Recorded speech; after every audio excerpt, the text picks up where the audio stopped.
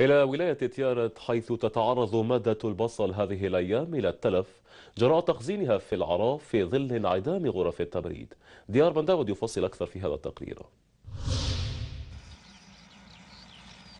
لا يزال الكثير من الفلاحين ينشطون لتحقيق إنتاج وفير غير أنهم يصطدمون بعائق التخزين فالمتجول عبر عدد من المزارع بتيرت لا بد أن تستوقفه هذه المشاهد لأطنان من البصل المنتشرة على شكل أحواض ومغطاة بالبلاستيك بطريقة تقليدية للتخزين بعدما انعدمت غرف التبريد.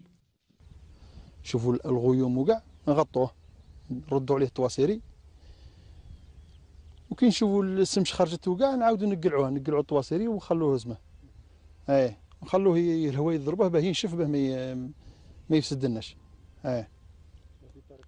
طريقة تقليدية وطريقه تقليدية المهم نلموا بها المنتوج. هو منتوج فلاحي يبقى يسجل خسارة الفلاح مع مرور الأشهر والأيام ويحد من نشاط فلاحين آخرين يقومون بكراء الأراضي وتنعدم لديهم شروط التخزين والتسويق. المدة تاعه ممكن يبقى لنا كي من هكا حتى. حتى النص حتى الجونفي حتى الجونفي ومن جونفي من جونفي غادي تكثر فيه الضياع. خسائر تكون 50% ولا 60% هكذاك. خاصنا الأرض باه نخدموا ما عندناش الأرض. خاصنا غير نشاركوا ونكروا وخاصنا غرف التبريد.